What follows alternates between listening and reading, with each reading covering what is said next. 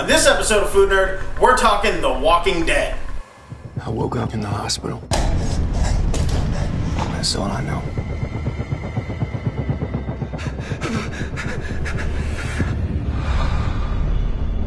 Lori?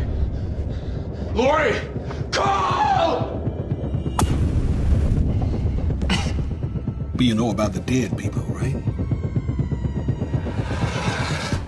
For today's recipes, we've got a zombie inspired meatloaf, and for dessert, brains in a jar. So sharpen your machetes, break out your escape plan. It's time to get our nerd on. Welcome to Food Nerd. Ready, aim, fire.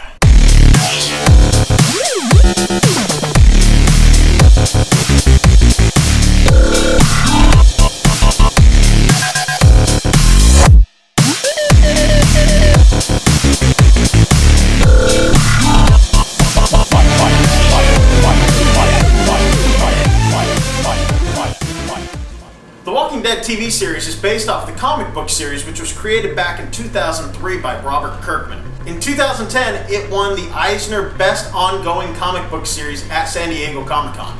The story is based on a group of individuals who have come together after a zombie outbreak to better their chances for survival.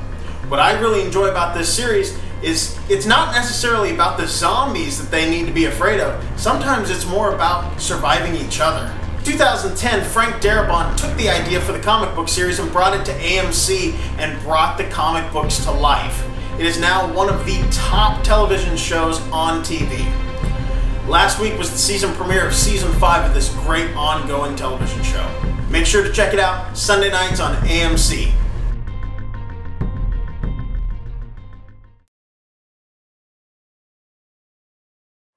For our first recipe today, we are making a zombie inspired meatloaf. And it's going to be wrapped in bacon, so when it bakes, the bacon's actually going to crisp up and kind of look like flesh tearing apart. It's pretty awesome. Check it out. First, we're going to preheat the oven to 350 degrees. Then we're going to add a pound of ground beef into a mixing bowl. We'll add one egg, one cup of breadcrumbs,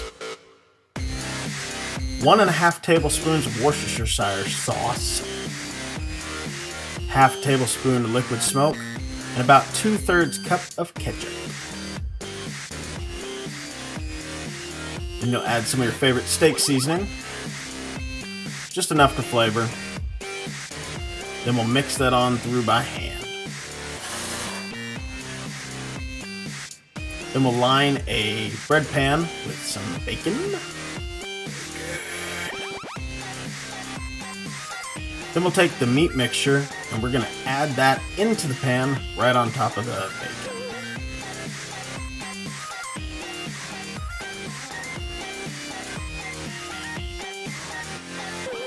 Then we'll take the bacon strips and we'll, we'll re-wrap the top of the meat with those.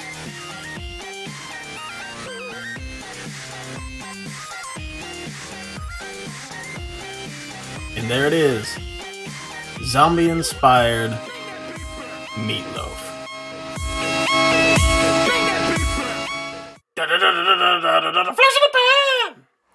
For this flash in the pan, we're talking about five things that are zombie related that has caught my interest. First up, we've got an anime called High School of the Dead. It was released in 2010 by Geneon Entertainment. It follows a small group of high school kids after the zombie apocalypse. They all band together to try to survive. It's a great story, check it out. Next up, we have the comic book series Zombies vs. Cheerleaders. This also came out in 2010 that was created by Stephen L. Frank. Great stories, fun, inventive, just kind of playful, nothing serious about them. Every issue has a different artist, which I love. It's the same thing that goes with Hack Slash, which is another one of my favorite comic book series. Check out the comic book series, I can't recommend it enough. Next up, we have three video games that follow along with the zombie apocalypse. Number one, it's The Walking Dead. Now, it doesn't follow directly along with the TV series, it follows other survivors that have survived and it follows their storyline. Great storytelling, great artwork. Check this game series out. It just came out with season two on PS3, uh, Xbox One, Xbox 360, as well as the PS4. Next up is The Last of Us. It was put out by Naughty Dog Studios and it was one of the top selling games of last year. The story follows a man and a young girl who have to team up in order to survive the infected after the outbreak happens. Beautiful story, beautiful artwork. Check the game out. It is coming out in a special edition on the PS4 and the PS3 as well as the Xbox One and the Xbox 360. Check those games out. And finally, my favorite, because I just dig the zombie cheerleader thing, is Lollipop Chainsaw. This game was put out by Suda51, one of my favorite video game companies. It was also directed and written by James Gunn, who just did Guardians of the Galaxy. It's a fun, playful game. Check the game out, a lot of hack slash sort of stuff. Next up is the music video Moon Trance by Lindsey Stirling. It's a fun, playful music video, kinda along the same sort of lines as Thriller by Michael Jackson. Kinda takes off on the same sort of themes, but Lindsey Stirling's music is amazing. Check out the music video. Check out the rest of her stuff on YouTube. Also, pick up her new album, Shatter Me, which is available in the stores now and on iTunes. And finally this week, Huffington Post released the top 25 worst places in America to seek refuge during the zombie apocalypse. They based their numbers off of how many hospitals were in an area, as well as how many hardware stores were in an area, based on the amount of people in that same area. You can check out the chart on HuffingtonPost.com, or you can click on it down in the comment section down below. Flash in the pan! And for our second recipe, we're making brains in a jar. It's a layered cake, all made inside of a mason jar. Watch this.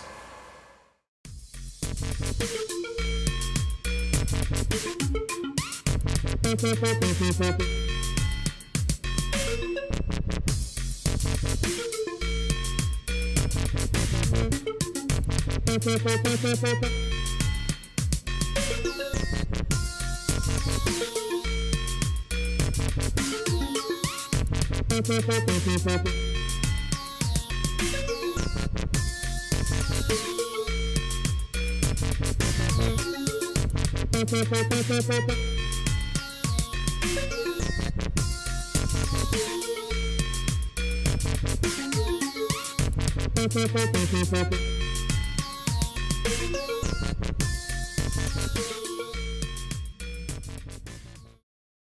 that's it for today's episode. I hope you guys enjoyed it. If you did, please click subscribe up in the top corner and also hit like right down here below. Make sure to check us out on www.imfoodnerd.com and make sure to keep watching The Walking Dead, which airs every Sunday night on AMC.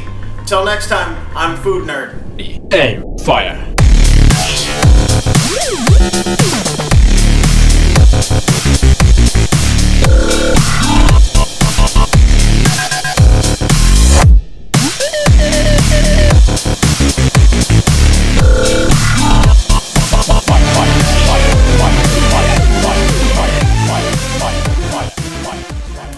Brian. the live audiences. you can't tame them, they're live. Hey, you need to do an episode of Grandma. Do I? Okay, here we go, because it's already recording.